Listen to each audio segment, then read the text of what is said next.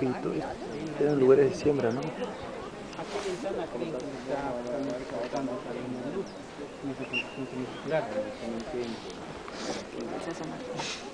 ¿A qué ventana? A la ventana que grande, esa que está ahí. Sí, justamente, ¿ya? Ahora, miren. Esta fotografía fue tomada de este lugar un 21 de junio a las 6 y 20 aproximadamente. 6 y 30, 6 y 45. Esa ventana que está justamente acá es aquella, perdón señora linda.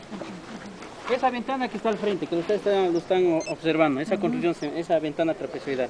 Cada 21 de junio, entre las 6 y 20 y 7 y 20 de la mañana, el sol sale por aquella dirección. Aquella montaña que está cubierta por la nubosidad es llamada Intipichu, montaña del sol. Hay una especie de V como aquella entrante, como al frente de donde está la puerta del sol. Sale el sol, 6 y 20, empiezan a iluminar Machu Picchu, Huayna Picchu. Casi para las 7 de la mañana sale una línea de luz, un rayo de luz que traspasa esa ventana trapezoidal, lo que les he mostrado. ¿sí? 21 de junio en el hemisferio sur, el famoso solsticio de invierno. ¿sí? En esa época estos señores celebraban en la famosa fiesta del Inti Raymi, fiesta del sol.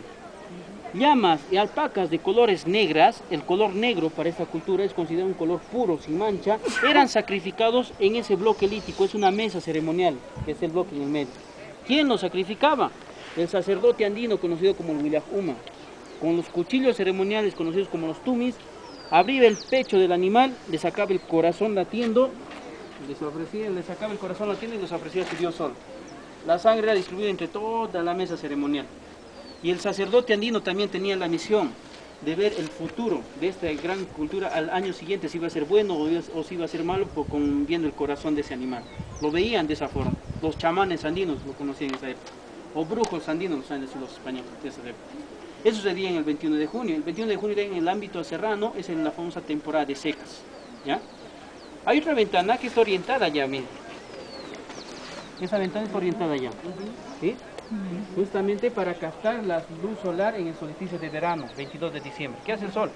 Junio, julio, agosto, septiembre, octubre, noviembre, diciembre. 22 de diciembre el sol sale por donde está la puerta del sol, esa ventana orientada a su salida. 22 de diciembre, solsticio de verano en el hemisferio sur. hemis- hemisferio sur. Vean estas fotografías ya también tomadas de un solsticio de verano. Ellos celebraban en esas épocas la famosa, el famoso Kapahraimi, ya también en diciembre. Estas fotografías fueron tomadas en un solsticio de verano. Kapahraimi. ¿sí? Significa fertilización de la tierra o temporada de siembras. O la famosa temporada de lluvia en esos lugares. Gracias a estas observaciones solares, este templo del sol es considerado también como un observatorio solar para captar la luz solar en el solsticio de invierno o Inti Raimi o temporada de secas y también captar la luz solar en el Kappa Raimi, solsticio de verano o temporada de lluvias. Secas, lluvias, Inti Raimi, Kappa Raimi, solsticio de invierno, solsticio de verano. Es justamente ese bloque. Eh, no esa construcción, ¿sí? Señores, vengan por aquí, por favor. But there is on that like the second floor in the top part.